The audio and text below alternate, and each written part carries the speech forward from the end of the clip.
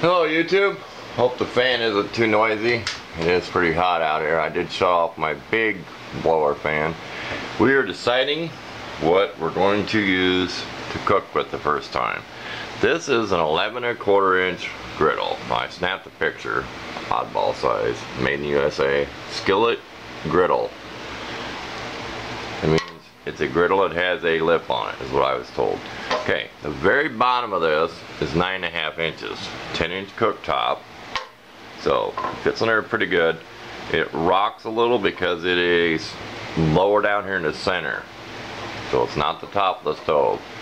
No biggie, except if you bumped it, it could go spinning. It's always had that problem.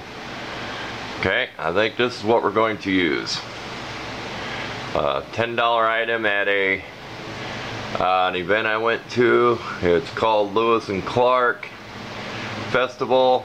We have in our area, and they sell stuff in tents. And this was a steal for ten dollars. So it was scrubbed, so it was completely steel shiny. I've been seasoning it over the years. I've probably had about five years. I do have it in a rocket stove video, and my wood stove and the workshop that I cooked on it. So.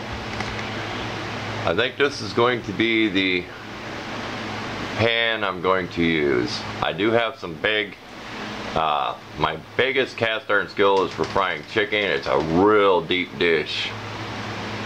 About that deep. It's a very deep skillet. It is one of my prized possessions. So I think our first cook video, this is what we're going to use.